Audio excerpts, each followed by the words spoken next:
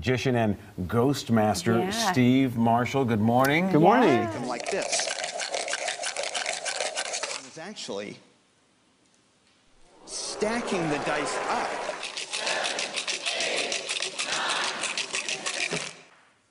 One, two, three, four, five, six, seven, eight. The incredible nine dice stack. Thank you. On it. As much as everybody else loved it, I loved it even more.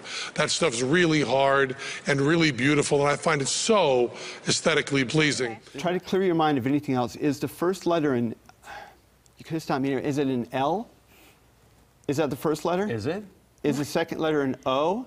Yes. Is it W low, lower? Is that the word you're thinking of? That's the word. Okay, good, good. What? And, right now, but the color you chose is a very anxious kind of a mood. Um, sometimes a little bit, a little perturbed. Um, it's a red. It's red. Is that the color you, you've placed on top? Open it up. Do you want to open it up? It is. And Yes. it's red. Red. Thank you.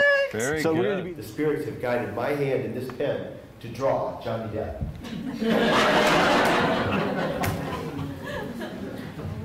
now there was a slight problem with these spirit drawings, Marla. The same colors that you used. But they went one further. They whispered a name in my ear. The name that you would just think of later. And that name, come over here, Marla. Just read it. Johnny Depp. Johnny Depp.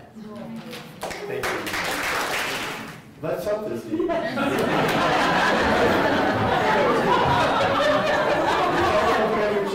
Let me ask you something.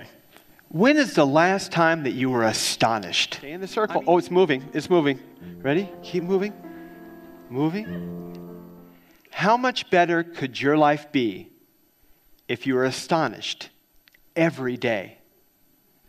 Thank you. Well, it was so entertaining. Thank you so Thank you so Okay, much. thanks. Thanks, Steve guys. Marshall.